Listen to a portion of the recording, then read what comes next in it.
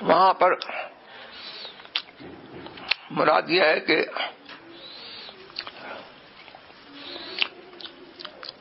اللہ تعالیٰ نے حضور صدر عالم صلی اللہ تبارک و تعالی علیہ وسلم کو محبوبیت سے نوازا اور ان کو خاص اپنا کیا۔ جیسے قرآن کریم میں وسطی تو نفسی میں نے تجھے